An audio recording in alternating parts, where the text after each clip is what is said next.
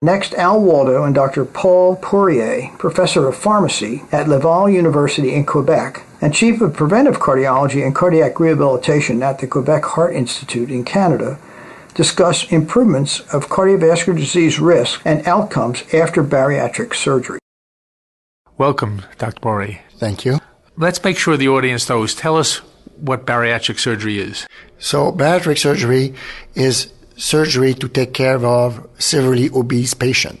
So severely obese patient, if you look at the guidelines that are 20 years old, are patient above 35 BMI with comorbidities like hypertension, diabetes, coronary artery disease, sleep apnea, or patient above 40 BMI but without any comorbidities.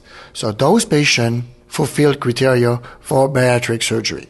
Tell us about risk factors and outcomes. If I understand it, that there are a lot of observational studies, but there have been no outcome studies. Is that right? Yeah. The literature on bariatric surgery